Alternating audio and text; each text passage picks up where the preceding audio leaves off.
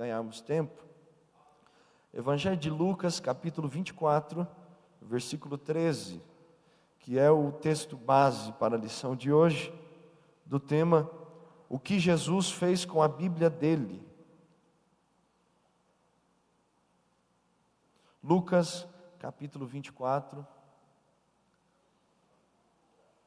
Já recolheu aí, tudo certo? Então vamos nos colocar sobre os pés para assim lermos a palavra do Senhor Jesus. Lucas capítulo 24, versículo 13.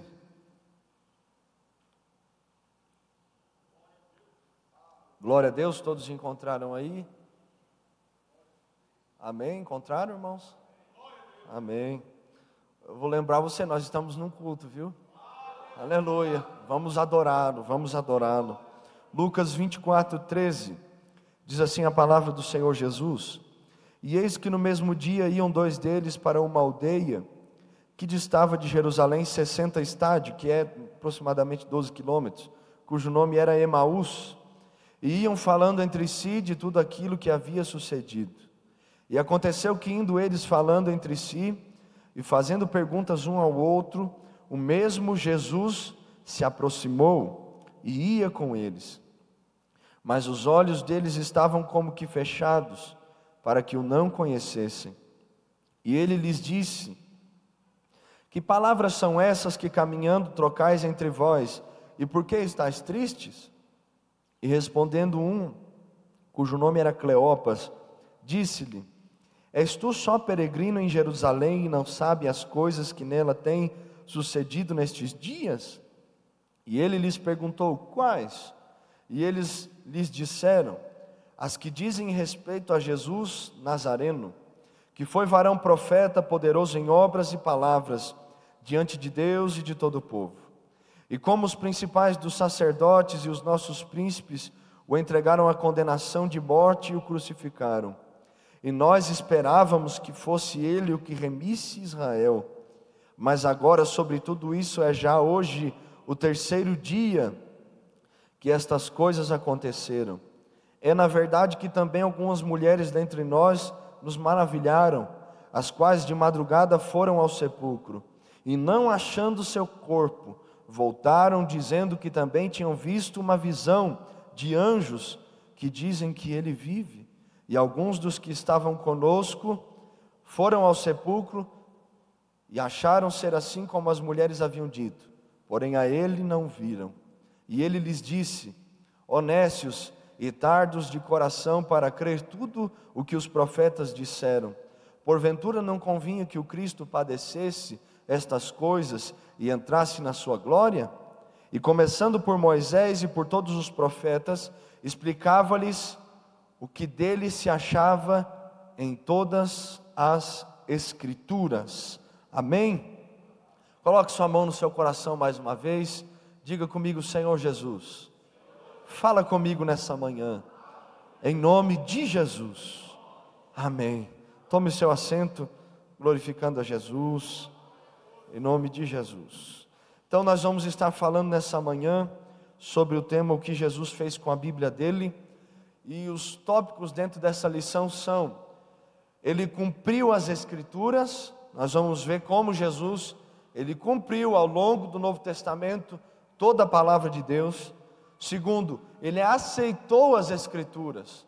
Então, a posição de Jesus a respeito da palavra era a aceitação e não há rejeição e nem alguma restrição. Jesus não tinha restrição a respeito da palavra, ele aceitou a palavra. E a terceira é que ele usou as escrituras. Então nós vamos estar falando sobre isso, que ele cumpriu as escrituras, ele aceitou as escrituras e ele usou as escrituras. E vai ser uma bênção. Eu tenho certeza que o Senhor vai falar conosco de forma especial. Em nome de Jesus. Então, o alvo da nossa lição de hoje é: como resultado desta lição, espera-se que o aluno devolva a Bíblia ao lugar central dela em sua vida e ministério. E o versículo-chave é Apocalipse 14, 6.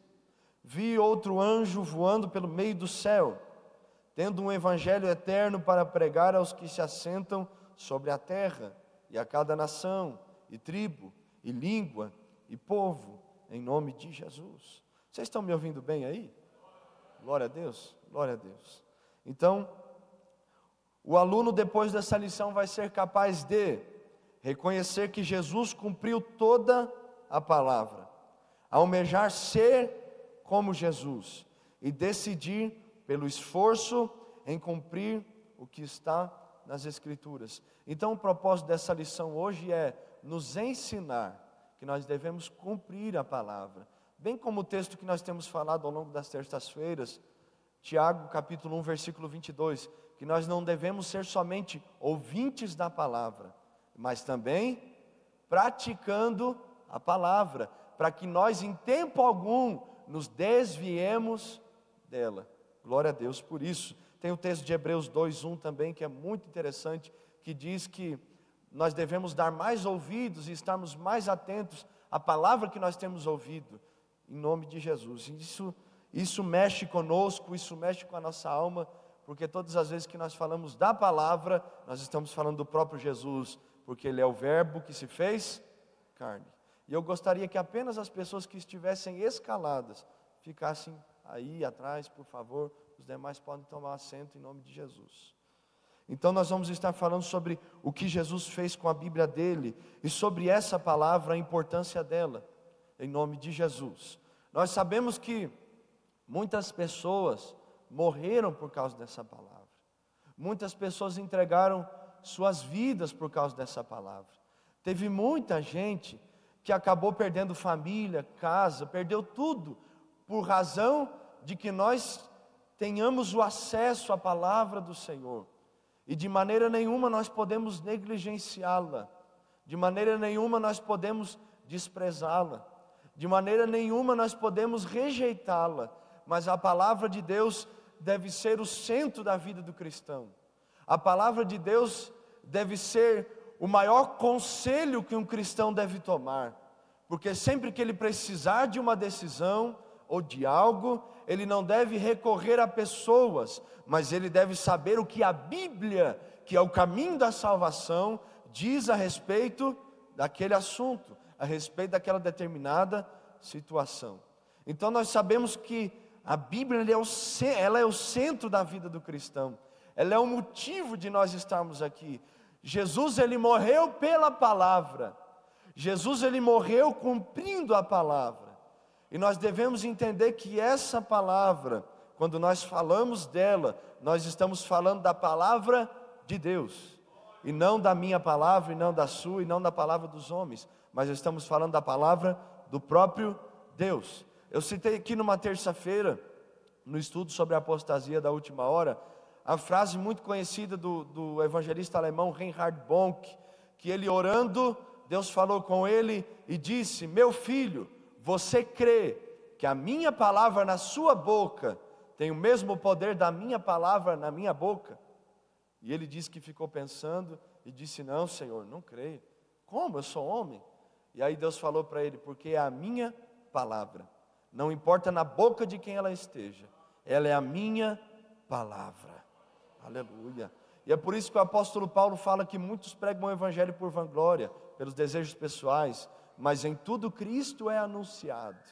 Ou seja, a palavra ela não volta de maneira nenhuma vazia, mas é bem como ela mesmo diz, ela faz tudo o que lhe apraz. E nós louvamos o Senhor por isso, porque um dia ele nos alcançou por essa palavra.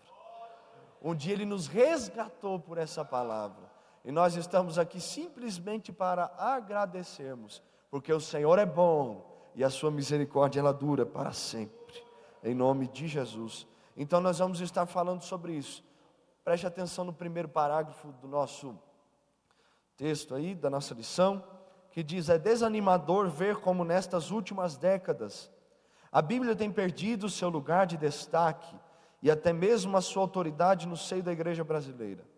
O grande apelo para nós aqui, pois, é que regressemos de novo às Escrituras e tenhamos para com elas a mesma atitude de nosso Senhor. Para isso, queremos examinar qual era a visão de Jesus sobre a palavra de Deus, qual o valor que ele atribui e como foi que ele a usou. Então nós vamos estar focando nessa lição nessa manhã sobre isso. Como Jesus usou a Bíblia? Como Jesus deu crédito à palavra? Como ele cumpriu? Quais eram as promessas e quais eram os cumprimentos? Então nós vamos estar vendo exatamente isso. E há uma coisa a respeito desse assunto sobre a importância da palavra, é uma coisa que nós precisamos entender que nós devemos ler a Bíblia todos os dias. Todos os dias. Você faz todos os dias as suas refeições? Você se alimenta todos os dias? Você se alimenta, nós nos alimentamos. E quando nós estamos orando, quando nós temos um propósito de jejum e quando nós atentamos para as Escrituras, nós não estamos alimentando o nosso corpo, mas nós estamos alimentando a nossa alma, porque a nossa alma tem fome de Deus. A Bíblia diz que o Senhor colocou a eternidade em nós, ou seja, todo homem busca a eternidade. Todo homem está buscando, alguns no lugar errado, mas nós temos o privilégio de sabermos que a palavra de Deus é o caminho para a salvação. Então nós devemos lê-la, nós devemos entendê-la, nós devemos praticá-la. Então, se eu perguntasse aqui nessa manhã, quantos leram a Bíblia nessa semana? Não precisa levantar a mão. Seria preocupante, porque muitos não leram. E se eu te perguntasse quantos leram a Bíblia ontem? E se eu perguntasse quantos leram a Bíblia hoje? Seria preocupante. Seria algo que realmente ia mexer conosco. Por quê? Porque nós íamos entender que nós nós temos de uma certa forma negligenciado a palavra. E eu falo por mim mesmo. Eu amo ler a Bíblia, amo estudar a Bíblia, mas eu sei que eu poderia fazer mais. Eu sei que eu poderia me dedicar mais. E isso preocupa. Porque nós estamos aqui, nós temos ensinos maravilhosos. Temos, e nós, graças a Deus, ouvimos a palavra.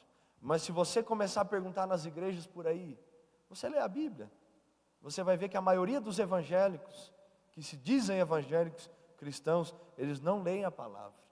E aí me responda algo: como alguém vai servir a um Cristo que não conhece esse Cristo? Como alguém vai amar um Cristo que não conhece? Porque ele mesmo se revela por meio das Escrituras. Amém? Glória a Deus. Glória a Deus. Penso que neste estudo deve ser decisivo para mudar profundamente nossa vida e a vida de nossas igrejas, pois é certo que, se a Bíblia se tornar para a igreja tão indispensável como foi para Jesus, a igreja descobrirá seu verdadeiro, que seu verdadeiro poder está na palavra de Deus. Eis o relacionamento de Jesus com a Bíblia. Então, a partir desse momento, nós vamos ver o que Jesus fez com a Bíblia dele. E eu gosto muito daquele versículo que diz que a palavra de Deus é o poder que opera em nós para a salvação. O Evangelho é o poder de Deus. O Evangelho, a palavra. Então, quando você lê a palavra, quando você se entrega à palavra, quando você se rende a ela e abre o seu coração, você está abrindo o coração para que o poder de Jesus entre, te faça uma nova criatura e pegue a palavra que está escrita aqui e escreva ela no seu coração. E esse é o mistério da Bíblia, em nome de Jesus. Você está com a sua revista aí?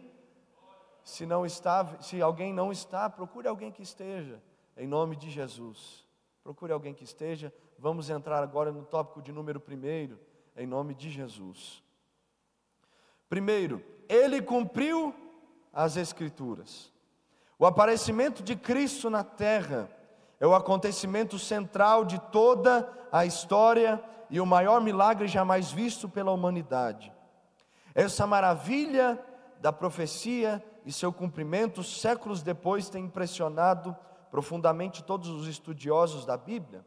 A seguir, citamos as palavras de um desses estudiosos, que de certo modo expressam os sentimentos de todos os que ficam perplexos diante de tal milagre. Que diz assim esse, esse pensamento, esse conceito, essa afirmação. Séculos antes de Cristo nascer, seu nascimento, sua carreira, seus sofrimentos e glória foram descritos em esboço e em detalhes no Antigo Testamento. Cristo é a única pessoa que viveu neste mundo cujos antepassados, ou seja, as pessoas que viveram antes dele, época de nascimento, modo de nascimento, infância, maturidade, ensino, caráter, carreira, pregação, a rejeição que ele sofreria, e morte, sepultamento, ressurreição e ascensão foram escritos previamente de maneira maravilhosa, séculos antes de acontecerem. E isso é algo que, que na vida do cristão deve trazer uma importância muito grande, porque eu já vi cristãos afirmarem que acreditam na Bíblia em parte, mas aí fica aquela questão: então eu acredito em Jesus pela metade? Nós devemos entender que toda a Bíblia é a palavra de Deus e que toda ela é inspirada e ela é apta, ou seja, ela, ela está pronta, ela nos ensina, ela nos corrige, ela nos exorta, ou seja, ela nos anima a corrermos a carreira que nos está proposta, ela nos anima a caminharmos no caminho de Cristo e cumprirmos a Sua palavra. A maior evidência de que Jesus cumpriu as Escrituras é que hoje nós estamos no ano 2019, depois de depois de Jesus, depois de Cristo. Então ninguém pode negar isso. Então ele não foi só um homem, ele não foi só uma ideia, ele não foi só um conceito, ele não foi só uma invenção dos galileus, ele não foi só só mais um filósofo, não. Ele foi o homem que marcou a história. E nós sabemos que ele marcou porque ele cumpriu cada uma das escrituras. Então, continuando ali, quem poderia apresentar o retrato de um homem que ainda não nasceu? Deus, e somente Ele. Ninguém sabia 500 anos antes que Shakespeare iria nascer. Ninguém 250 anos antes que Napoleão nasceria. Todavia, aqui na Bíblia, nós temos o admirável e perfeito retrato de um homem, não por um artista, mas por 20, mais ou menos 25, sendo que nenhum deles vira o homem que estava pintando. Ou seja, eles falaram sobre Jesus, mas eles nunca conheceram Jesus. Eles falaram de Jesus, a respeito de Jesus, a sua vinda detalhadamente, mas eles nunca haviam visto ele. Foi aproximadamente desde as primeiras profecias, 500 anos antes, ele estava sendo profetizado. Estava sendo dito: ele virá da terra de Zebulon e Naphtali, e os gentios verão uma luz, e essa luz resplandecerá no meio da escuridão, e ele pregará aos pobres o reino de Deus. Então, isso é profundo demais, irmãos, porque ao longo da história você olha para trás e vê as pessoas que realmente têm os seus livros, nos, os seus nomes nos livros de história, você não percebe ninguém profetizando a respeito delas, mas você vê que Jesus foi profetizado, Jesus ele foi anunciado. Jesus, além de tudo isso, ele cumpriu cada uma dessas palavras. Vamos ver o, como Jesus cumpriu isso? Vamos? Continuando então. Quais profecias que Jesus cumpriu?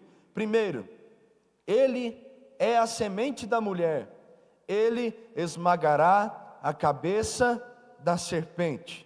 Então, isso foi uma profecia que está em Gênesis capítulo 3, versículo 15, que diz assim: Porém, inimizade entre ti e a mulher, entre a tua semente e a tua semente, esta te ferirá a cabeça e tu lhe ferirás o calcanhar. Então, nós temos a promessa e o cumprimento. O cumprimento está em Gálatas 4,4, 1 João 3,8, que diz, Gálatas 4,4: Mas vindo a plenitude dos tempos, Deus enviou o seu filho, nascido de mulher, sobre ele estava a lei, em nome de Jesus. E também 1 João 3,8: quem comete pecado é do diabo. E aí você percebe que Jesus, na verdade, veio para desfazer o pecado, desfazer as obras do diabo. E ele veio realmente esmagar a cabeça da serpente. 2. Ele vem da linhagem de Abraão. Gênesis 12, Deus vai fazer uma promessa a Abraão, e nós falamos aqui sobre a aliança abraâmica domingo passado, né? Quando nós estávamos falando sobre as alianças que Deus fez com Adão, com Noé, com Abraão, com Davi, com Moisés, fez com Cristo e cumpriu ela em nós. Então nós nós percebemos isso, que Deus fez uma promessa a Abraão, e ele falou algo que, se você observar o texto de Gênesis 12, quando Deus promete a Abraão, não faz lógica, não faz lógica, por quê? Porque Deus estava dizendo a Abraão: Abraão, todas as famílias da terra serão abençoadas através da sua vida. E aí fica aquela coisa, como assim? Mas já havia outras famílias, já havia outras pessoas, mas Deus estava falando a respeito do cumprimento que se haveria de vir quando Cristo morresse pela igreja, ressuscitasse, e aí no seu nome, como Jesus era descendente de Abraão, no seu nome, todos seriam abençoados. Então isso é, é forte demais. Então Deus disse em todas as famílias seriam cumpridas, em todas as famílias seriam abençoados pela vida de Abraão, e Jesus cumpriu isso. Então há uma promessa e há um cumprimento. Então, terceiro, procede da casa de Davi. Então nós vamos ver, vamos ler 2 Samuel capítulo 7. Vamos ler, hoje nós vamos ler um pouquinho a Bíblia, viu? Não tem jeito. 2 Samuel capítulo 7. Onde que está o segundo Samuel, irmão Marcelo? Depois do primeiro Samuel, viu? Você acha ali? Segundo Samuel, capítulo 7. Versículo 12 e 13. Segundo Samuel 7, 12 e 13. Olha o que diz a palavra do Senhor. Quando teu, Deus está falando a Davi. Quando teus dias forem completos e vieres a dormir com teus pais, então farei levantar depois de ti a tua semente, que sair das tuas entranhas, e estabelecerei o seu reino. E este edificará uma casa em meu nome, e confirmarei o trono do seu reino para. E aí fica uma pergunta: como que vai ser confirmado para sempre? Vai ser através de Salomão? Vai ser através de Roboão, de Ezequias, e aí de, de todos os reis? Não. O reino de Davi seria firmado para sempre através de Jesus, que era descendente de Davi. Então, quem cumpriu essa profecia aqui, esta palavra de Deus, a Davi foi Jesus, porque ele e somente ele vive eternamente, e um dia nós também viveremos, em nome de Jesus. E continua ali no tópico 3: se o Messias aparecesse depois do tempo que ele veio, por exemplo, em nossa época, essa prova seria impossível. Como poderia ele provar ser da linhagem de Davi? Dr. Jacob Gartenhaus, judeu convertido, afirma que não há nenhuma família judia no mundo agora que possa apresentar um documento legal e provar ser da descendência do rei Davi. O profeta Daniel, em Daniel 10, 10 ao 12, no entanto, profetizou o tempo exato da sua chegada. E no momento exato, o Messias veio. O cumprimento está em Mateus capítulo 1, versículo 11, 22, 42, 45, e aí vai várias referências. Então nós vemos ali que se Jesus viesse hoje, não teria como comprovar ele era da linhagem de Davi.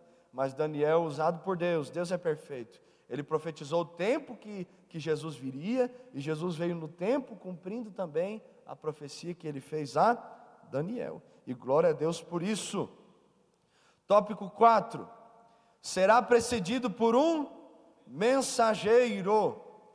Vamos ler Malaquias capítulo 3, o último livro do Antigo Testamento. Malaquias capítulo 3. Se tiver dificuldade de achar, vai em Mateus e volta um pouquinho que você acha. Malaquias capítulo 3, olha o que diz a palavra do Senhor: Eis que eu envio o meu anjo, que preparará o caminho diante de mim, e de repente virá ao seu templo, ao seu templo ao, o Senhor, a quem vós buscais, o anjo do concerto, a quem vós desejais, e eis que vem, diz o Senhor dos exércitos. Agora vamos ler então Lucas capítulo 1, versículo 17. Glória a Deus. Lucas capítulo 1 e o versículo 17. Então nós lemos a respeito da promessa. E agora nós vamos ler a respeito do cumprimento. 1,17 de Lucas. Olha o que diz a palavra do Senhor: irá diante dele no espírito e na virtude de Elias, para converter os corações dos pais aos filhos e os filhos e os rebeldes à prudência dos justos, com o fim de preparar ao Senhor um povo bem, um povo bem disposto. Então nós vemos aqui que há um cumprimento, vai vir um mensageiro e ele vai preparar o caminho, e há, há uma promessa e depois há um cumprimento. Ele veio, foi João Batista, veio, preparou o caminho do Senhor, e aí, se você ler o texto de Malaquias, continuar lendo, você vai ver que ele foi profetizado que viria na virtude do profeta Elias, ou seja, na ousadia, na palavra. Então, você vê que a Bíblia falou e a Bíblia cumpriu. Cinco, a Bíblia diz que ele nascerá de uma virgem, tipificado pelo menino de Isaías, capítulo 7 e o versículo 14. Vamos ler Isaías, capítulo 7.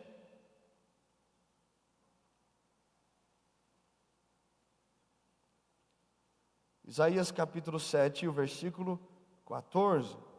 Vocês estão gostando de ler assim, gente? Glória a Deus. Amém. Vamos lá, não desanima não. Vamos tentar achar. Vamos lá, gente. Glória a Deus. Isaías capítulo 7, versículo 14. Olha o que diz a palavra do Senhor. Portanto, mesmo o Senhor vos dará um sinal. Eis que uma virgem conceberá e dará à luz um filho, e será o seu nome Emanuel. E Emanuel significa Deus, Deus conosco. Aleluia. E o cumprimento dessa palavra está em Mateus, capítulo 1, versículo 18, e o versículo do 21 ao 23. Vamos lá, Mateus capítulo 1. versículo 18,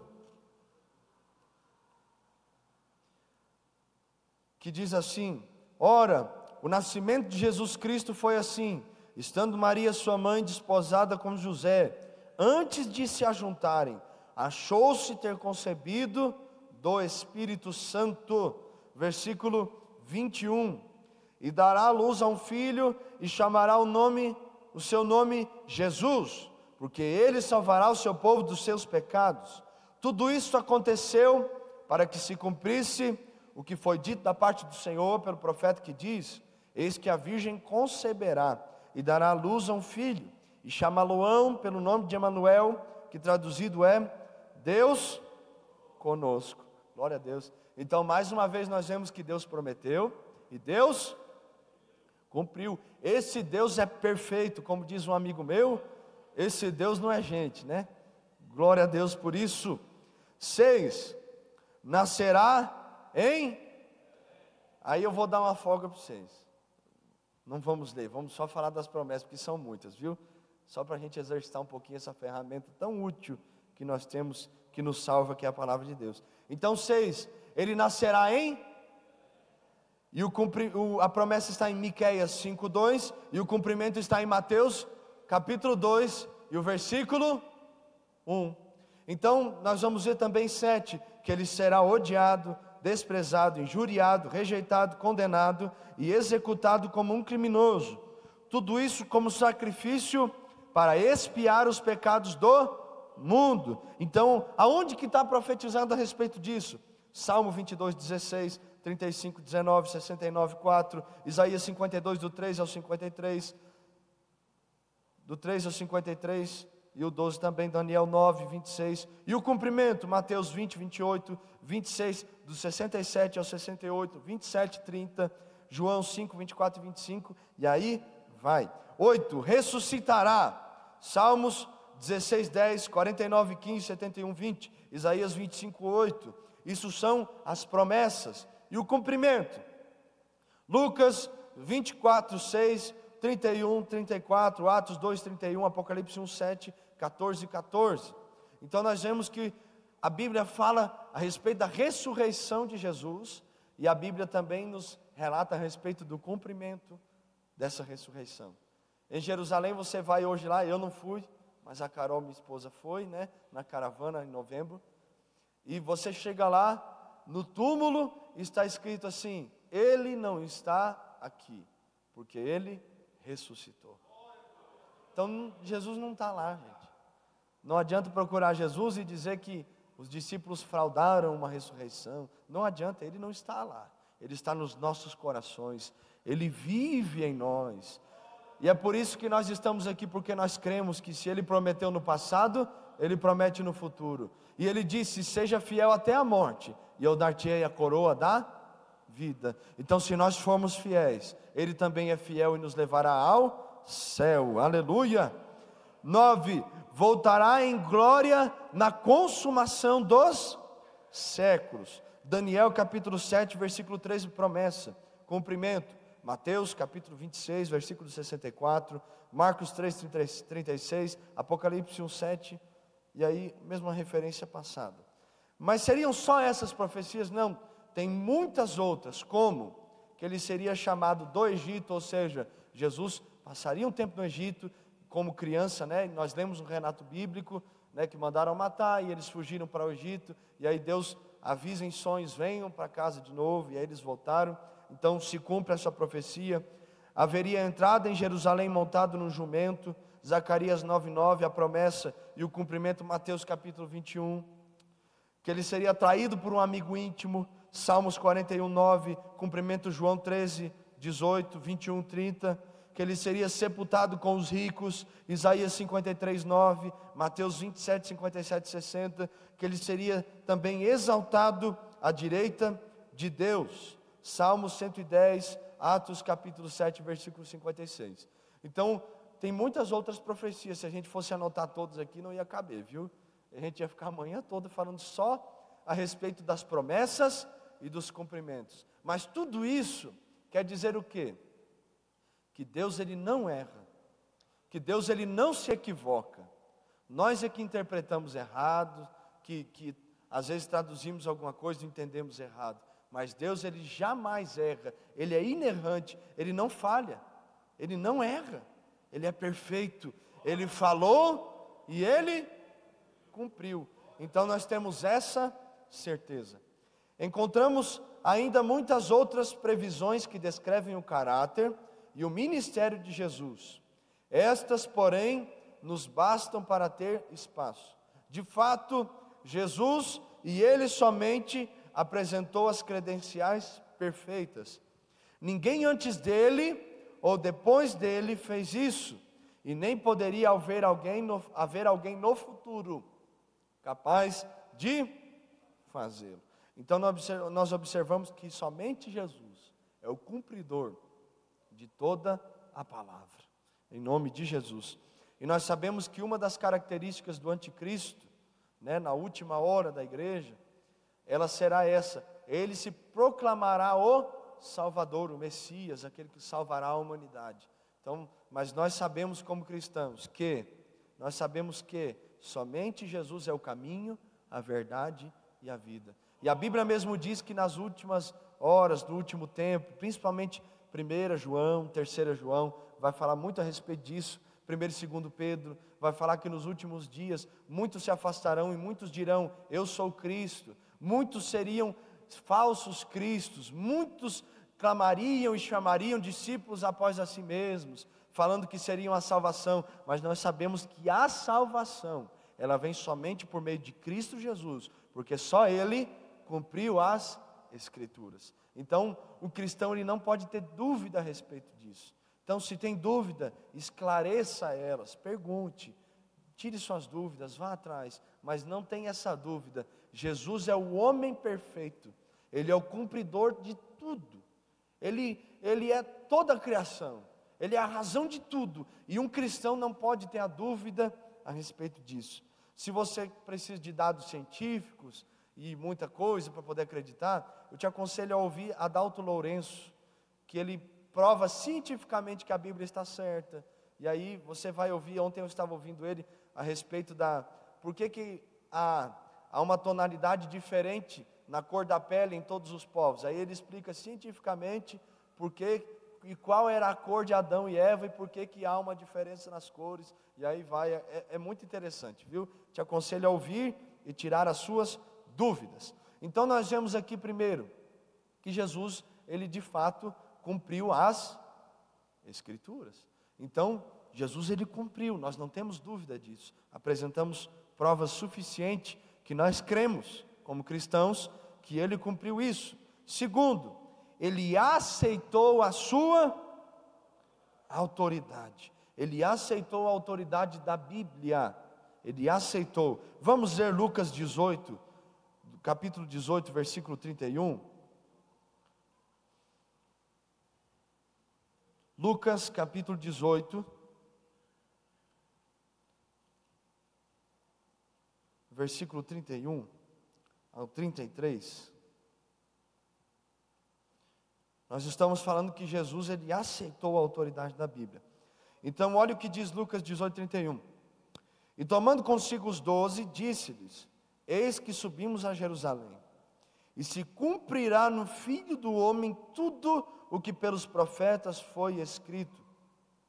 Pois há de ser entregue às gentes, e escarnecido, injuriado e cuspido. E havendo açoitado, o matarão, e ao terceiro dia ressuscitará. Então nós vemos que Jesus ele aceitou. Como assim? Não entendi. Simples. Como homem, ele tinha o livre-arbítrio. Ele poderia ir ou não a Jerusalém, e se ele fosse, ele sabia que ele seria morto de qualquer forma.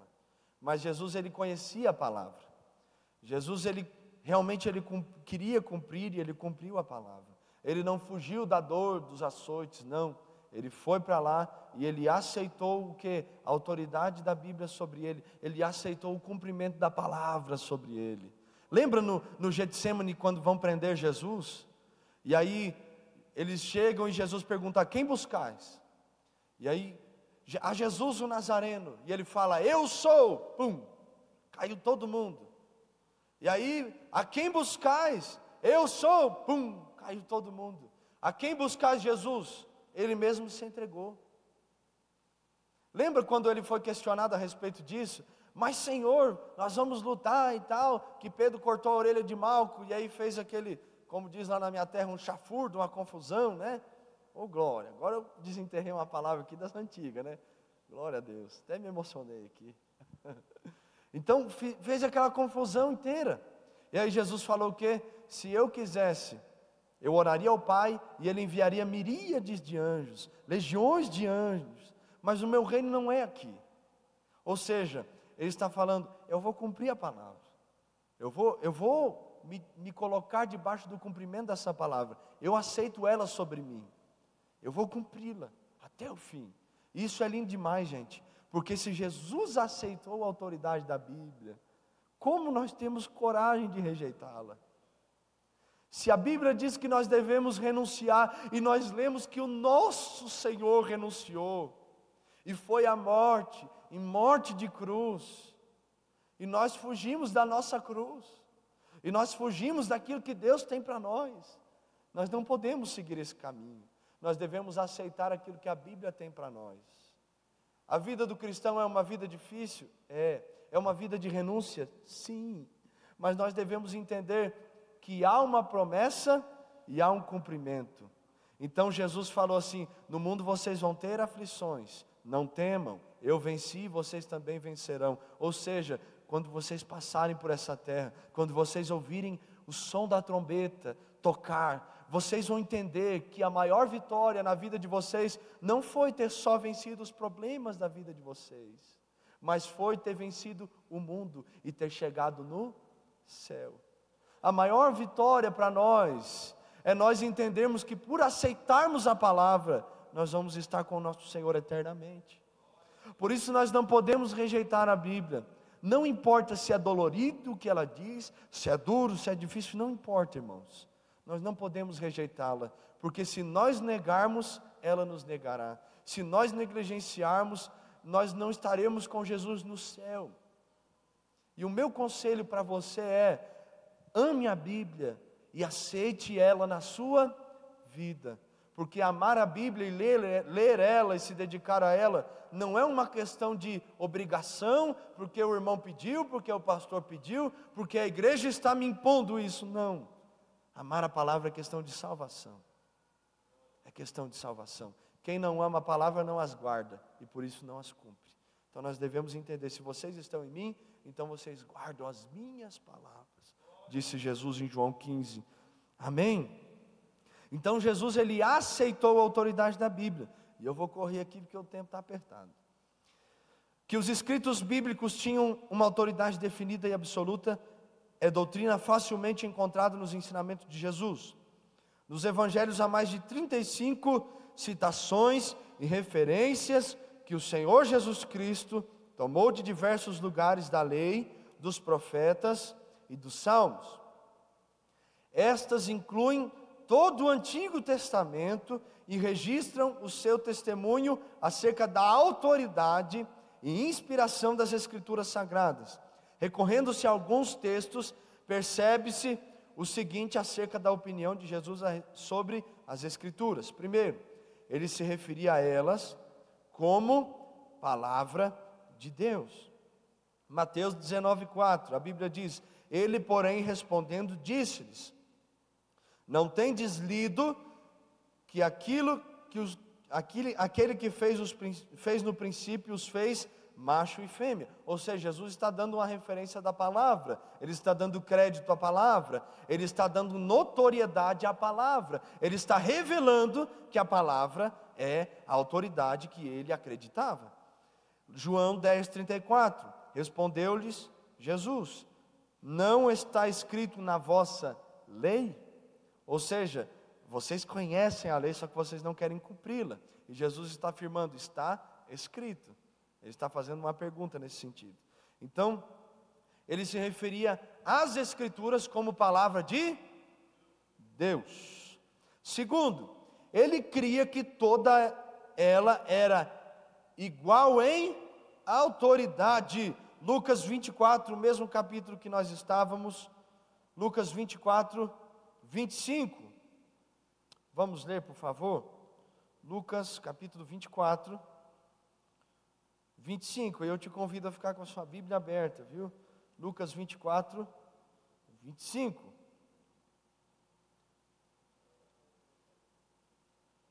Que diz assim: E ele lhes disse: Honestos e tardos de coração para crer tudo o que os profetas disseram. Porventura não convinha que o Cristo padecesse essas coisas e entrasse na sua glória. E começando por Moisés e por todos os profetas, explicava-lhes o que dele se achava em todas as Escrituras. Foi o texto que nós lemos para abrirmos essa lição. Então nós entendemos o que? Que Jesus estava explicando o que? Que ele acreditava que toda a palavra era a autoridade de Deus. Não era ela em parte, não era ela um pedacinho, não era um versículo, um capítulo, não toda a palavra, toda a palavra. Mas e Apocalipse, irmão Marcelo? Se você ler Zacarias, Ezequiel, Daniel, você vai entender melhor. Mas Apocalipse também é a palavra de Deus. E nós não podemos negligenciá-la, em nome de Jesus. Então Jesus acreditava que toda a Bíblia era a autoridade. Terceiro, ele aceitava todas as histórias e os milagres registrados na Bíblia como verdadeiros. Mateus capítulo 12, versículo 40. Vamos ler só uma referência para nós assim ganharmos tempo. Mateus capítulo 12, versículo 40.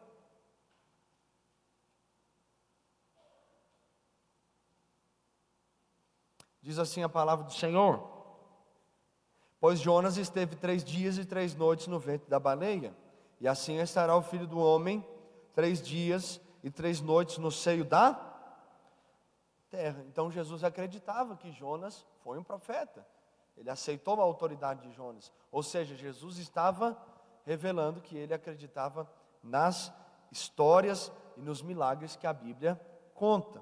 Quarto, ele colocou o seu selo também sobre o Novo Testamento. João capítulo 14, versículo 26.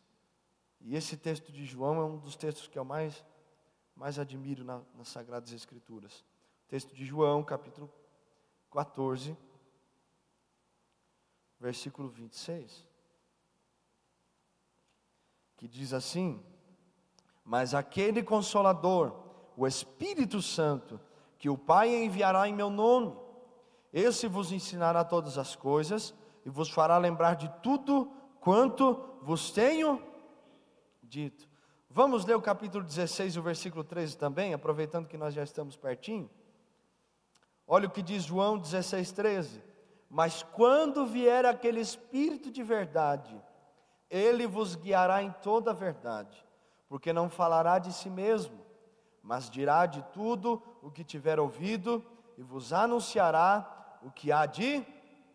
Continuando ali 14, ele me glorificará, porque há de receber o que é meu e vou-lo há de anunciar. Glória a Deus por isso. Jesus ele colocou a sua marca, ele, ele colocou a sua característica na Bíblia, ou seja, eu vou, mas o Espírito Santo ele virá. E ele vai ensinar vocês, ele vai guiar vocês, ele vai instruir vocês, em nome de Jesus. Em nome de Jesus. Glória a Deus. Aleluia. Ajuda aí, divino. Ajuda aí. Glória a Deus. Em nome de Jesus. Então nós entendemos o que? Que ele se referia a elas como palavra de Deus. Nós entendemos o que? Que Jesus, ele cria que toda ela era igual em autoridade. E ele aceitava todas as histórias e os milagres registrados na Bíblia como verdadeiros. E ele colocou o seu selo também sobre o Novo Testamento. Aí fica uma questão. Jesus ele se referiu à Bíblia como palavra de Deus. E nós? Nos referimos à Bíblia como palavra de Deus? Jesus ele acreditava que toda a Bíblia era igual em autoridade. E nós nos referimos e acreditamos que a Bíblia é igual em autoridade, ela inteira, toda ela, os 66 livros. Jesus ele aceitou todas as histórias e os milagres registrados na Bíblia como verdadeiros. E aí fica uma pergunta: e nós aceitamos as histórias e os milagres como verdadeiros? porque nós estamos vendo aqui que Jesus nos nós estamos entendendo aqui que Jesus acreditou, ele cumpriu isso, ele entendeu isso, e ele revelou para nós isso. E se ele acreditou nisso, então quer dizer que nós também acreditamos. Então a Bíblia para nós não é só mais uma história. A Bíblia para nós não é só mais um livro de histórias. A Bíblia para nós, quando nós falamos sobre a Bíblia, não é só mais um discurso, nós estamos falando das Escrituras que podem transformar a nossa vida. Nós estamos falando das Escrituras que Jesus deu o seu sangue por ela.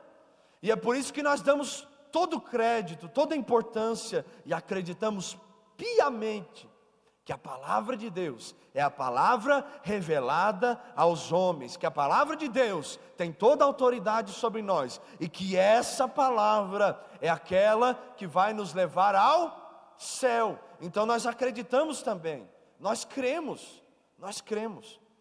E terceiro, a Bíblia vai falar, e nós vamos ver aqui que Jesus ele cumpriu, que Jesus ele aceitou, e terceiro, ele usou a Bíblia. E se Jesus usou a Bíblia, nós também a usamos. Glória a Deus por isso. Você é cristão? Você diz que é um seguidor de Jesus? Então você está vendo essa manhã que Jesus ele usou a Bíblia. Então por que você não usa a sua? E glória a Deus que Deus tem falado conosco a respeito disso. E nós louvamos o Senhor. Ele chama a nossa atenção porque ele nos ama e quer o nosso bem. Ele quer o nosso bem. Deus ele nos ama com amor sem fim. Então não rejeitemos a sua palavra. Então Jesus usou a Bíblia. Pela maneira como Jesus usou a Bíblia, pode-se perceber claramente que ele a julgava simplesmente indispensável. E como ninguém, ele a usou de forma magistral, excelente, perfeita. A palavra de Deus nos exorta a fazermos o mesmo. Olha o que a Bíblia diz, 2 Timóteo 2,15. Procura apresentar-te a Deus. A quem? A Deus que tudo vê, que tudo sabe, aprovado, como obreiro que não tem de que se envergonhar. Por que, que ele não se envergonha? Porque ele maneja bem a palavra da Verdade. Então, no mínimo, aceitou Jesus, conhece a Bíblia. Ah, mas é obreiro, irmão Marcelo. Mas quando você aceitou Jesus, você não aceitou fazer a obra dele também? Quando você aceitou Jesus, você não aceitou servir aos irmãos? Quando você aceitou Jesus, você não aceitou Ele mandar na sua vida? Então nós devemos procurar, nós como cristãos, conhecermos a Deus. Irmãos, nós não precisamos de um título para nós servirmos a Deus. Nós não precisamos de um título para nós servirmos aos irmãos. Você está no seu trabalho, mas você tem que revelar Jesus lá. Você pode servir as pessoas que estão no seu trabalho. Você está aqui na igreja, você não precisa ser um diácono para fazer alguma coisa na casa de Deus. Você não precisa ser uma diaconisa. Você pode servir a Deus e aos irmãos. Você pode, você pode. Então sirva, se apresente a Deus, porque você se apresenta a Deus. E depois, com o tempo, o reconhecimento vem, e isso é natural. Nós só não podemos colocar o nosso coração nisso. Então tem alguém que alguém está orando aqui. Estou falando isso porque veio no meu coração agora. Alguém está orando, intercedendo aqui, os obreiros estão orando. Não há ninguém que segure. Aí você tem que chamar alguém para alguém segurar. Não, se você está ali, vai lá e segure você. Entende? Se alguém está precisando de uma oração e não tem ninguém, ore você. Entende? E lá no seu trabalho, não tem nenhum pastor lá, não tem nenhum irmão lá, e alguém precisa de uma oração. Você vai esperar semana que vem para que alguém possa ir lá e a pessoa, sei lá, morreu até lá?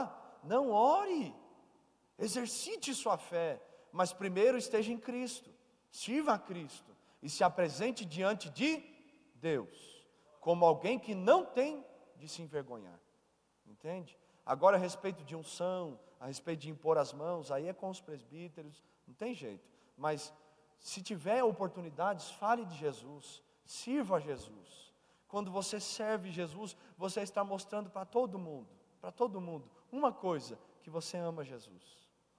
E porque você ama Ele, você vive como Ele viveu. E a quem eu devo servir, irmão Marcelo? Jesus ele não serviu nem os ricos e nem os pobres. Jesus ele não serviu não aos sacerdotes e nem aos publicanos. Jesus ele serviu a todos. E a Bíblia diz que ele amou a todos. Então é esse que nós devemos servir. É criatura? É gente? Então sirva. Simplesinho assim. Tá bom? Irmão Marcelo, você quer doutrinar? Não, eu só estou falando da palavra de Deus. Amém? Glória a Deus. Então ele usou a Bíblia. Mas como Jesus usou a Bíblia? Como? Primeiro, ele enfrentou o diabo. Você vai ver em Mateus capítulo 4 que Jesus usou a Bíblia na tentação. Vamos ler Mateus 4. Glória a Deus. Glória a Deus. Aleluia. Diga para o seu irmão: não durma, aleluia. Oh glória. Mateus capítulo 4.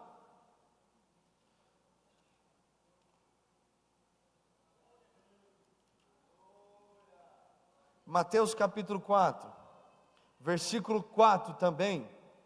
Olha o que diz a palavra do Senhor. Ele, porém, respondendo, disse: Quem estava dizendo? Jesus. E nós estamos falando que Jesus usou a Bíblia para enfrentar o diabo.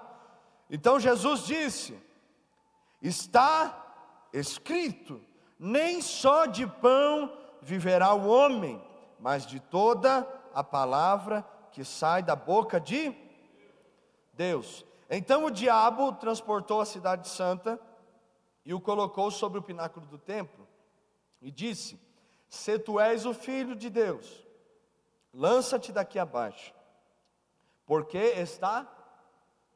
É interessante porque o diabo ele vai retrucar, né, vai rebater Jesus com a escritura.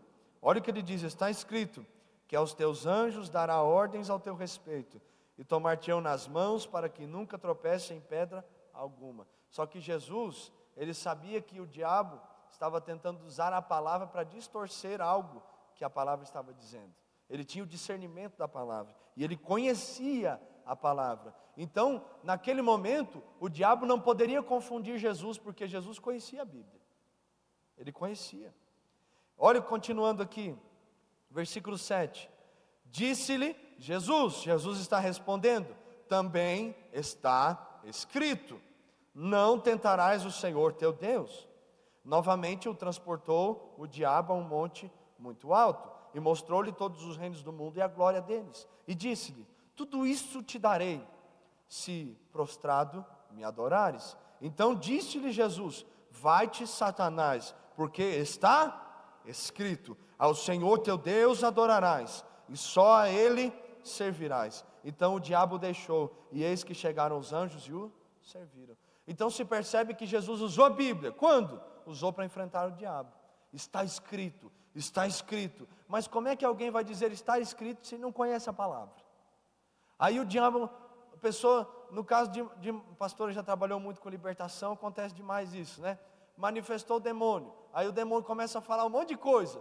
As pessoas acreditam no demônio, gente. E elas não acreditam na palavra. Aí o, o bicho velho fala um monte de coisa e o povo acredita. Oh, meu Deus do céu.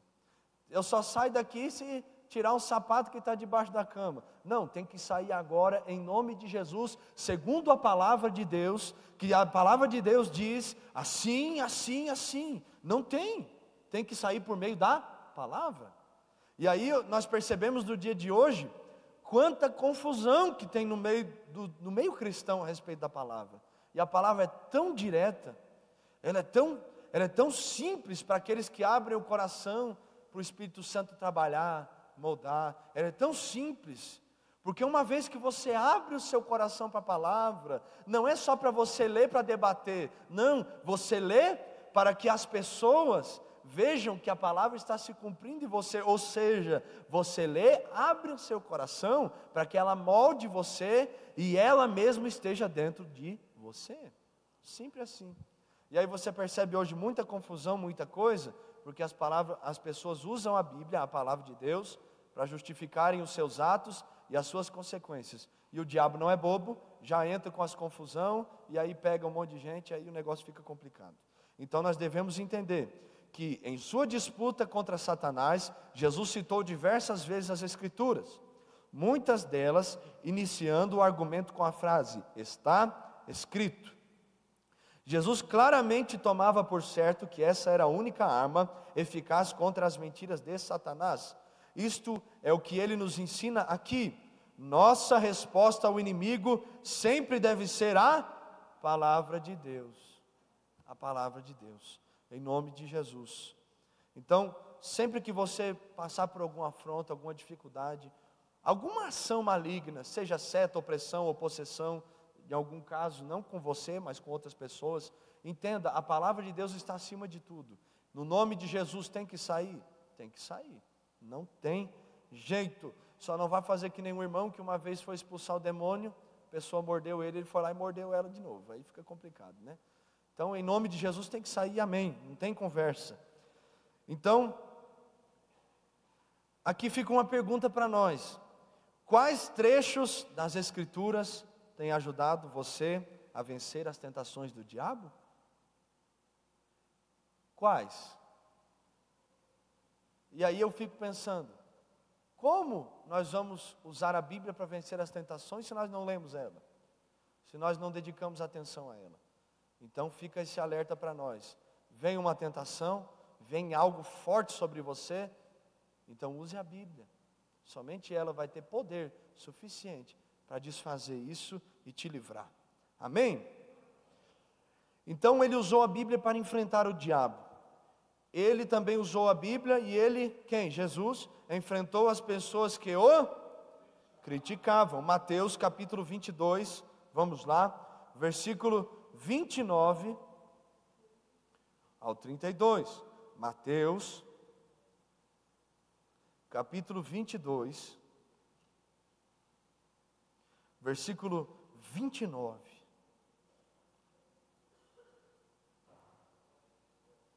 Jesus, porém, respondendo, disse-lhes: Errais, não conhecendo as Escrituras e nem o poder de Deus, porque na ressurreição nem se casam e nem se dão em casamento, mas serão como os anjos de Deus no céu. E aí ele continua dizendo: E acerca da ressurreição dos mortos, não tem deslido o que Deus vos declarou, dizendo: Eu sou Deus de Abraão, de Isaque e Deus de Jacó? Ora, Deus não é Deus dos mortos, mas dos vivos. E as turbas, ouvindo isso, ficaram maravilhadas da sua doutrina. Ou seja, Jesus enfrentou aquelas perguntas capciosas, Jesus enfrentou aquelas pessoas com maldade no coração, Jesus enfrentou aquelas pessoas que só sabiam criticar com a palavra de Deus. Uma coisa, você quando quiser criticar alguém, é chegar na pessoa e conversar. Outra coisa é você expô-la publicamente. E a, a, forma como Jesus lidou com isso foi fantástica, porque ele em momento algum perdeu o domínio, em momento algum ele perdeu o controle, mas ele foi sempre muito centrado e objetivo. Está escrito: vocês não conhecem a palavra, por isso que vocês erram. É assim, assim, assim. Pronto, respondeu, amém, glória a Deus.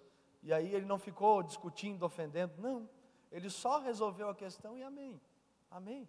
Então, vamos procurar fazer o mesmo. É o que a Bíblia diz: se possível, tem de paz com todos os homens. Mas é um atribulado, irmão Marcelo. Tenha paciência. Jesus ele teve paciência com você quando você estava perdido. Isso já é o suficiente, né? Isso já é o suficiente. Eu lembro de um dia eu fui chamar a atenção de um jovem, e eu, meio brabo, né? Infelizmente, Jesus está convertendo, vai converter até o fim, em nome de Jesus. Aquele que começou a boa obra, ele vai terminar. E aí eu caminhando assim na igreja, estava indo de encontro ao jovem, e o Espírito Santo falou para mim no meu coração: Por que você não tem paciência com ele, se eu tive paciência contigo? E aí eu comecei a lembrar que uns aninhos atrás, eu fazia a mesma coisa. Aí aquilo me quebrantou, Aí, e eu caminhando, caminhando e pensando. Aí eu cheguei lá, irmão, eu estou aqui para você precisar, vamos conversar um pouquinho. Aí conversei, aí curou a situação. Já passei por isso, e aí vai, conversa. Então, o Espírito Santo ministrou no meu coração aqui naquele dia. E hoje ele fala conosco de uma forma tão simples. Por que nós não temos paciência com os nossos irmãos, se Jesus teve toda a paciência conosco? Quantas vezes você xingou igrejas e pastores e falou mal de Jesus? Quantas vezes você blasfemou da palavra de Deus? Em nenhum momento Jesus te rejeitou, mas Ele foi amoroso e paciencioso o suficiente para te amar, te aceitar, perdoar os seus pecados e mudar a sua vida. Prova disso que nós estamos aqui, e nós não estamos aqui porque nós somos bons, irmãos. Nós estamos aqui porque nós éramos ruins e duros de coração, mas o amor de Jesus nos quebrantou e continua nos quebrantando até o fim. Aleluia, aleluia. Ele enfrentou as pessoas que o criticavam, em controvérsias públicas com seus antagonistas, com seus inimigos, quando era necessário falar com autoridade final sobre a verdade. Jesus citava o Antigo Testamento como quem usa um critério indisputável da verdade, ou seja, ele foi absoluto, ele foi firme na palavra, porque ele sabia que o que ele estava falando não era palavra de homem, mas era palavra de Deus. Mas aí fica uma questão: isso não é desculpas para nós acusarmos os irmãos com versículos bíblicos também. Eu já vi gente, ah, irmão, e aí cita o versículo acusando o irmão, não precisa disso. Eu acredito que nós somos maduros o suficiente para entendermos que nós lemos a Bíblia para nós e que se há, existe alguma coisa que precisa ser tratada, trabalhada, cabe às lideranças de departamento, ao pastor da igreja, né?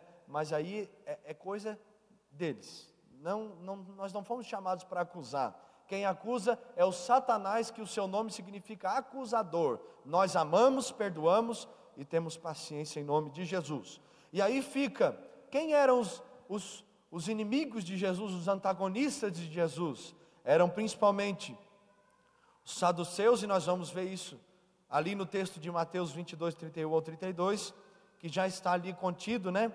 E quanto à ressurreição dos mortos, não tem lido que Deus vos declarou: Eu sou o Deus de Abraão, o Deus de Isaac, o Deus de Jacó. Ele não é Deus de mortos e sim de vivos. Então, naquele momento, Jesus estava falando com os saduceus. Eles, eles negavam a doutrina da ressurreição. E aí a resposta de Jesus a respeito dele foi uma resposta bíblica. E amém, e ele resolveu o assunto. Então, o jovem escriba, que representava a classe dos escribas, Marcos 12, 18, indignado, indagado, ou seja, melhor, indagado sobre o primeiro de todos os mandamentos, Jesus respondeu a pergunta citando Deuteronômio 6, 4 e 5, e acrescentou ainda a citação de Levítico 19, 18. Então, os saduceus, os escribas, terceiros, terceira classe de pessoas naquela época de religiosos que, que combatiam Jesus e não aceitavam ele eram os fariseus. Mateus diz que Jesus, dirigindo-se aos fariseus, perguntou-lhes: Que pensais vós do Cristo? De quem é filho? Responderam-lhe de Davi. Replicou-lhe Jesus: Como, pois? Davi, pelo Espírito, chama-lhe Senhor, dizendo: Disse o Senhor ao meu Senhor: Assenta-te à minha direita até que eu ponha os teus inimigos debaixo de teus pés. Se Davi, pois, lhe chama Senhor, como é ele seu filho? E arrematando o incidente, o evangelista declara, o evangelista Mateus, falando a respeito das palavras de Jesus, como narrador. E ninguém lhe podia responder palavra, e nem ousou alguém, a partir daquele dia, fazer-lhe perguntas. Então nós observamos que além dos saduceus, jovens escribas e fariseus, haviam os herodianos, os nicolaítas e os gregos. Nós observamos que esse, esse grupo, esses grupos de pessoas, eles vinham criticar Jesus e fazer perguntas capciosas com um sentido duplo, para envergonhar, frustrar, e aí tirar o crédito daquilo que Jesus estava dizendo. Mas Jesus os combateu com a palavra. Então, qualquer situação, e aí fica essa pergunta: qualquer situação que você passa na sua vida, como você reage? Você usa a palavra? Em suas disputas, disputas sobre o que é certo ou errado, qual é a autoridade final para o que você, para a qual você apela? Qual é o último recurso que você usa? Quando alguém vem, vem discutir com você sobre Bíblia, observe o exemplo sempre do nosso pastor. Quando você tem uma dúvida, o que, que ele faz? Ele vai lá e pega a Bíblia, o que, que é mesmo? O que está escrito? E aí vai lá e vê o que está escrito, e aí vamos ver o contexto, vamos ver o que ela está dizendo. Por quê? Porque você tem que entender. Não adianta você querer falar de algo, ah, mas isso, isso e isso. Mas aí distorceu o versículo, ficou aquela coisa errada, pegou um versículo isolado, fora de contexto, e aí vira pretexto para fazer um monte de coisa que quiser. Então sempre Vá para a palavra. O que a Bíblia diz? A dúvida é sobre a graça? É sobre a eleição? É sobre a predestinação? É sobre um monte de coisa? É sobre isso? Então, o que a Bíblia diz a respeito disso? Ah, mas tem muitas interpretações. Não, eu não quero as interpretações, eu quero a Bíblia. O que ela diz? Mas e os estudiosos? Eu quero saber o que Jesus disse. Eu quero saber o caminho, o que o caminho me apontou. Eu não quero atalho, eu quero o caminho. O que ele disse? Então, no meio de uma discussão, para o que você apela? É para a palavra? Ou é para as suas opiniões, os seus conceitos, suas falas baseadas em traumas que você teve lá no passado, conceitos que você tem tido de acordo com a experiência do que você já viu, ou é com a palavra de Deus? Então, atente bem para isso, tá bom? Então, Jesus usou a Bíblia para enfrentar o diabo, para enfrentar as pessoas que o criticavam, e ele usou a Bíblia para enfrentar o sofrimento e a, e a morte. Então nós vamos perceber que eu não vou ler porque o tempo já está findando, que Jesus viu o propósito de Deus para a sua vida e ministério totalmente descrito na Bíblia. E à luz das Escrituras, ele interpretou para os discípulos sua existência e seus gestos.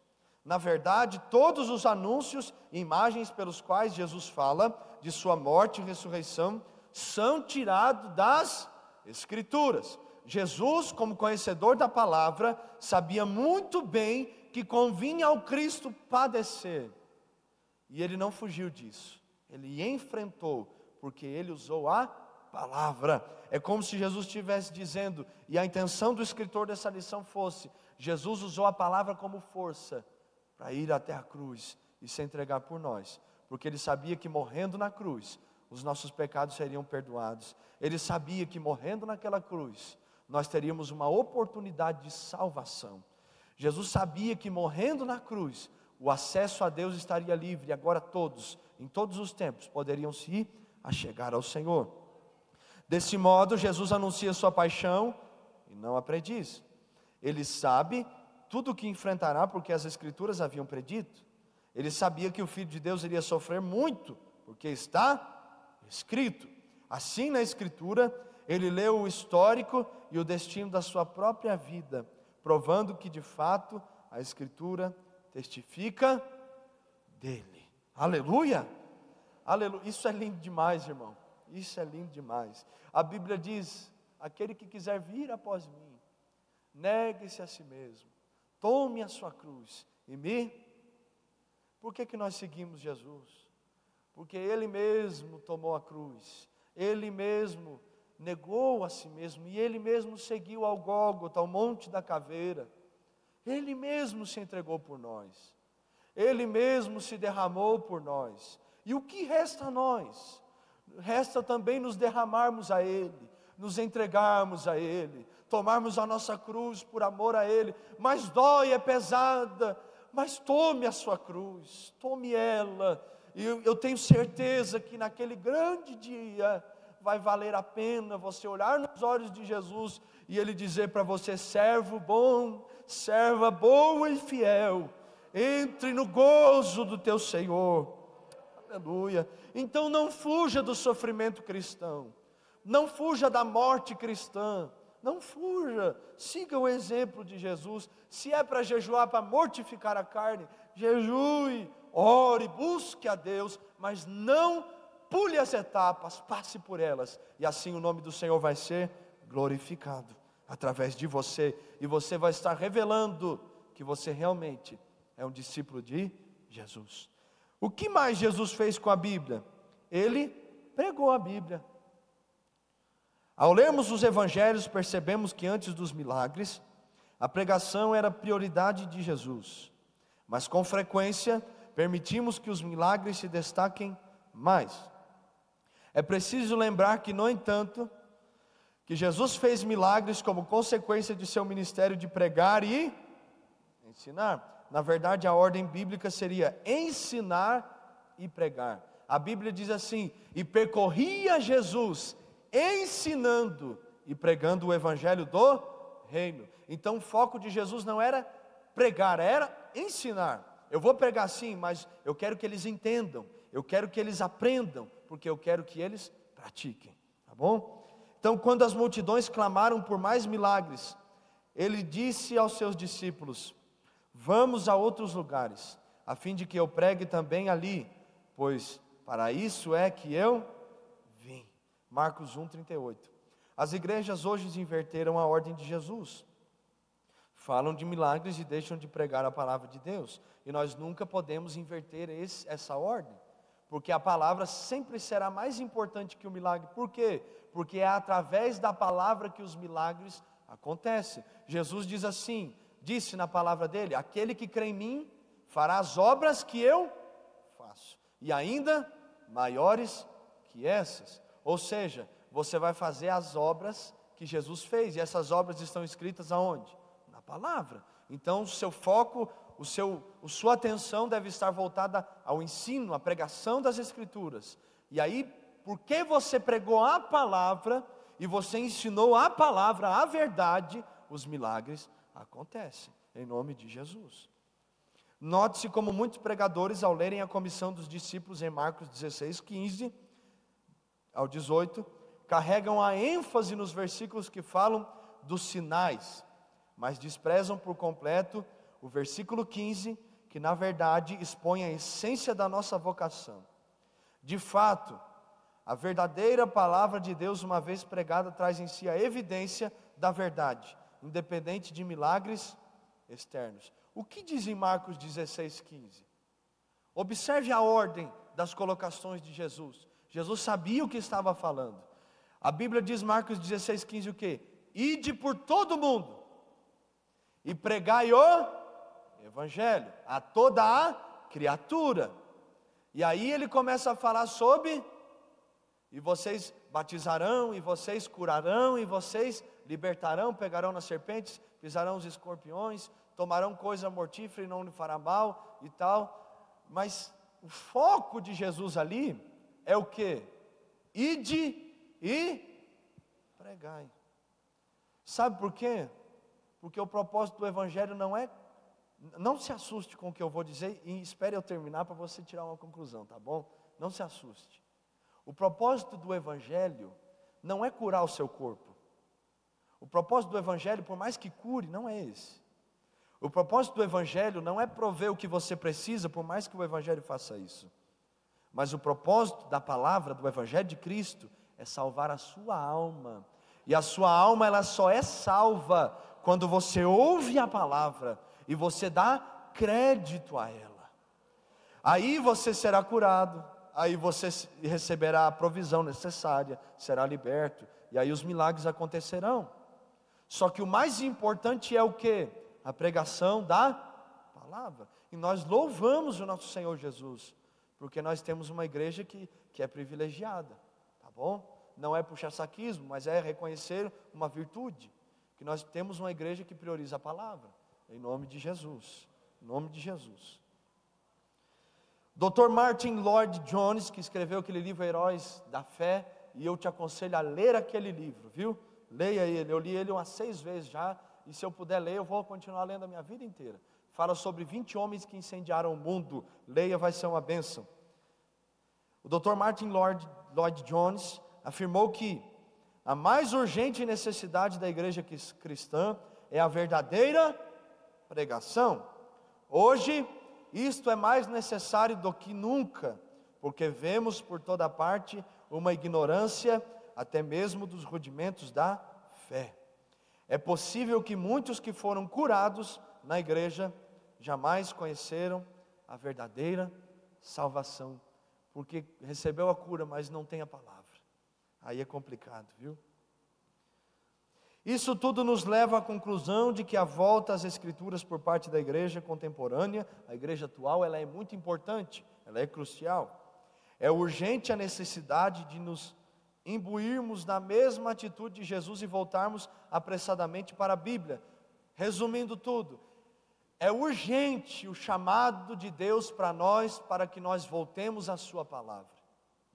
É urgente. Não há como nós fugirmos não há como nós nós nos escondermos dessa palavra. Não há como nós negarmos essa palavra. Diante do Senhor nós não temos desculpas. Diante do que nós temos visto e ouvido, nós não temos argumentos suficientes e nunca vamos ter, por mais que eles sejam bons, para nos desculparmos diante de Deus pelo tempo que nós não lemos a palavra de Deus. Nós nunca vamos poder dizer para Deus: Deus, eu não lia para a tua palavra porque eu, eu estava fazendo a tua obra. Nós não temos essa desculpa. Fica aquela perguntinha que a professora fazia para a gente na escola, dos professores de faculdade: o que você faz da meia-noite às seis? E aí, essa semana, um jovem falou para mim, um rapaz, e eu acordo às quatro e meia, e eu te pergunto: o que você faz das meia-noite às quatro? Nós não temos desculpa, irmãos. Não temos. Muitas vezes, e eu falo isso para a glória de Jesus, porque a gente é só um grãozinho de areia, tá bom? Muitas vezes eu dormia três, quatro horas por noite, mas eu chegava em casa e eu pegava a Bíblia, e eu acordava porque eu tinha dormido em cima da Bíblia. Mas a minha consciência era o que? Eu não posso deixar de ler a palavra.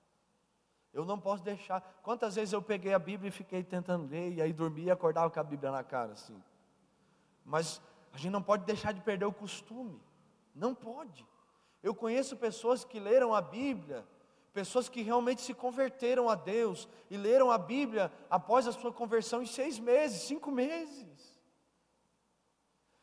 Existem pastores que ao morrerem, o legado que eles deixaram, talvez não foi o dinheiro e nem o templo, mas foi um legado de busca a Deus e de leitura da Sua palavra porque leram ao longo da sua vida a palavra de Deus mais de cem vezes, como foi o caso do pastor Rissai, que contém a história dele nesse livro, Os Heróis da Fé. Nós não podemos negligenciar, nossos irmãos morreram por essa palavra. João Russo foi queimado na fogueira e quantos outros? Quantos outros? Nós não temos o direito de negligenciarmos a palavra. E o mais importante de tudo é que o nosso Jesus morreu para que nós tenhamos o acesso a ela. Em nome de Jesus. Vamos tirar um momento de oração agora? Eu te convido, feche os seus olhos nesse momento. E agradeça a Deus. Pode ficar sentado mesmo. Agradeça a Deus pela palavra que Ele te deu e a oportunidade que Ele te deu. Pai, em nome de Jesus, nós te louvamos pela tua palavra. Obrigado, Espírito Santo, por essa palavra que o Senhor revela todos os dias aos nossos corações e às nossas vidas. Em nome de Jesus nós te louvamos e te agradecemos. Obrigado, Senhor. Nos ajude a lermos a cada dia, nos ajude a nos dedicarmos e darmos crédito a ela a cada dia, Senhor. Põe o temor da tua palavra em nossos corações. E como diz o salmo, Senhor, que o Senhor escreveu, guarde ela nos nossos corações, para que nós não venhamos pecar contra ti. Nós te louvamos e te agradecemos, em nome de Jesus. Muito obrigado, Senhor, em nome de Jesus. Amém. Vamos dar um glória a Deus pela palavra do Senhor? Glória a Deus, em nome de Jesus. Então vamos ler a Bíblia, vamos buscá-la. Ela é o caminho que nos leva ao céu. Em nome de Jesus. Em nome de Jesus, alguma pergunta, alguma dúvida, alguma colocação dentro da lição? O irmão Maciel vai falar. Em nome de Jesus. E se você tem alguma dúvida, alguma colocação dentro do assunto, nós vamos ouvir com a maior alegria. Meus irmãos, a paz do Senhor Jesus, amém. Eu achei muito interessante um ponto aqui que o, o nosso pastor falou, o quanto, é, o quanto é necessário uma escola como essa. E às vezes eu mesmo não dou o, de, o devido valor, porque um ponto que o Marcelo destacou é quando uma pessoa fica endemoniada e às vezes as pessoas acreditam naquilo que o, que o diabo fala. E eu já, tenho, eu já vi denominações que o ponto alto do culto é os demônios. Eu digo isso porque eu já vi. Eu, uma vez eu estava trabalhando na frente de uma igreja dessa, e eles começaram o culto e não leu nada da Bíblia. E já começou com a oração e as pessoas ficou endemoniadas, pegaram o demônio, levou para cima do altar, e o ponto alto do culto foi os demônios. Ou seja, a igreja sendo dirigida por demônios. É o que a Bíblia diz, né? E infelizmente, isso é de doer o coração, porque já teve pessoas que saíram da nossa igreja e foi para essa dominação. Para a gente ter uma noção o quanto isso é importante. Pessoas que saíram do nosso meio e foi para esses lugares. Eu tenho uma irmã que faz parte dessa dominação, e um dia eu conversando com ela, ela disse: Não, mas lá eu estou bem, porque eu estou recebendo bênçãos. E que dia que bênçãos vai salvar nós? Bênção não vai levar nós para o céu. Eu preciso de bênção, eu sei que você precisa de bênçãos, porque bênção é maravilhoso, vindo, vindo, vindo de Deus é maravilhoso. Só que bênção não vai levar nós para o céu. E se a nossa questão for buscar bênção, só bênção, lá no satanismo vamos conseguir muito mais rápido. O satanás ele dá bênção para a gente muito mais rápido que Deus dá. A gente sabe disso. Mas nós estamos em busca da salvação. Então eu vejo essa escola muito necessária para nós. Eu agradeço a oportunidade. Deus abençoe. Amém. Glória a Deus. Alguém mais tem alguma dúvida, alguma colocação? Lá atrás o nosso irmão. E aí nosso irmão vai falar e nós já vamos nos atentarmos aqui às apresentações. Lembrando, meus irmãos, aproveitando aqui o ensejo, que nós, nós temos um canal agora no YouTube da igreja e todos os cultos de ensino nós estamos postando as lições da escola bíblica e os estudos bíblicos lá para você poder acessar em casa também. Pois não. É, Pastor Marcelo, eu quero saber a respeito assim, porque a tradução na Bíblia na linguagem de hoje, ela, ela foge muito assim da, da, da essência, assim, sabe? O que, que você pensa a respeito disso? Ai, guerreiro. Assim, a Bíblia na linguagem de hoje, o próprio nome já diz, né? Vai trazer a linguagem bíblica para a linguagem de hoje. Geralmente, quando as pessoas me perguntam a respeito da Bíblia que se deve comprar, na melhor tradução, nós aconselhamos Almeida, revista e corrigida, revista e fiel. Aí tem a revista atualizada. Por quê? Porque é a que mais se aproxima. Claro que nós temos também a King James, aí muda um pouquinho ali, mas se aproxima bem do original. Então, geralmente nós aconselhamos essa, né? Quando eu leio a nova tradução da linguagem de hoje, parece que eu não leio a Bíblia. Aí eu fico, ah, não dou conta de ler esse negócio. Eu vou ler a, é aquela que a gente começou, né? Aí fica nela mesmo. Então, ao meio da revista corrigida, revista fiel, sempre vai vai te levar para mais próximo daquilo que Jesus quis dizer. E aproveitando também, tome cuidado com a Bíblia que você tem, os comentários bíblicos. Às vezes você está lendo um comentário bíblico ali que vai te levar para um lado que não é. Então você viu que está meio fora assim? Converse, tire suas dúvidas em nome de Jesus. Então, oportunidade de estar com a irmã Vanderlice, glória a Deus. Cumprimento os irmãos com a paz Senhor, amém? Relatório das classes do mês de junho. Cordeirinhos de Jesus, de 0 a 2 anos, alunos matriculados 11, ausentes 10, presentes 1, um visitante, R$ reais de oferta.